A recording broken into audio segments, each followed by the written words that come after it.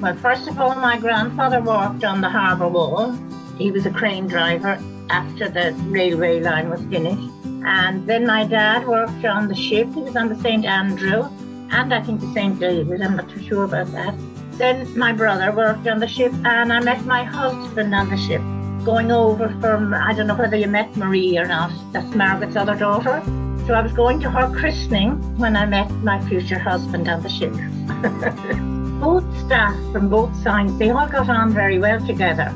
They all kind of in, married, maybe the girls, boys from Rosslare married ladies from Fishguard, ladies from Fishguard married boys from Rosslare.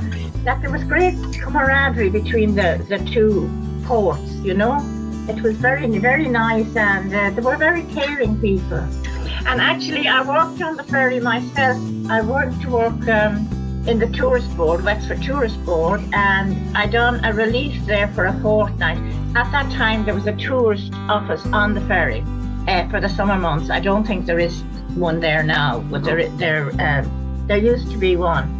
We were all done up in uniforms, little green hats and all, and uh, it was it was lovely. It was really nice. Now we had our own little office, and we would just give information to the passengers about where to go visit in Ireland, and uh, we weren't allowed to book accommodation, but we could uh, show them a list of it, you know, and they could pick their own then. So, but it was it was lovely experience. It was like being on holiday actually. It was a different kind of work towards being in the office in Wexford.